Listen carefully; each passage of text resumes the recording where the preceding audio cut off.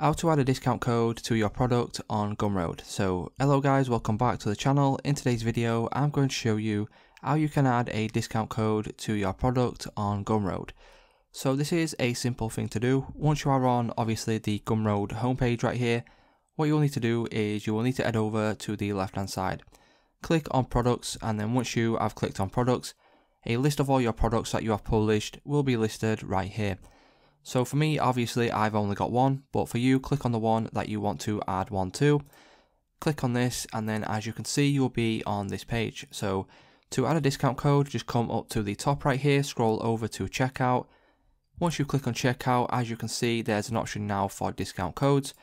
Click on add a discount code, and from here you can obviously change it to whatever you want. So for me, if I just put in YT for YouTube, I could put in then whatever I want the discount code to be and then obviously I can then put in the quantity if I want to have a certain amount of discount codes so in this case it would be 10 but if you leave this blank that will mean that there is unlimited discount codes so it's just that simple guys, that's how you can go ahead and add a discount code to your product on Gumroad.